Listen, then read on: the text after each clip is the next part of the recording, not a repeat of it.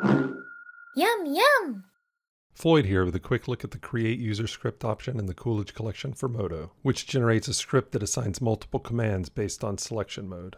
Start by picking four commands, one for each selection mode, and then copy them to an external text editor such as Notepad. You can get the commands easily by activating a tool or running a command, selecting it in the undos list, and then copying the command to the clipboard. For this example, I'll use the commands for vert slide, edge extrude, polygon spike, and SDS subdivide.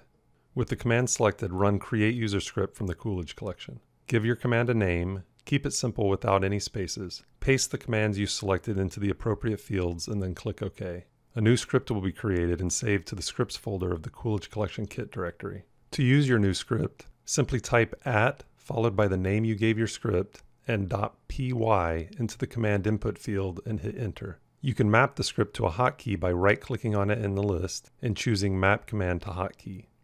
Anytime you use the hotkey, one of the four commands will be used based on which selection mode you're in. Use this powerful feature to create an endless number of scripts which can make efficient use of a limited number of hotkeys. Oh, look at the time.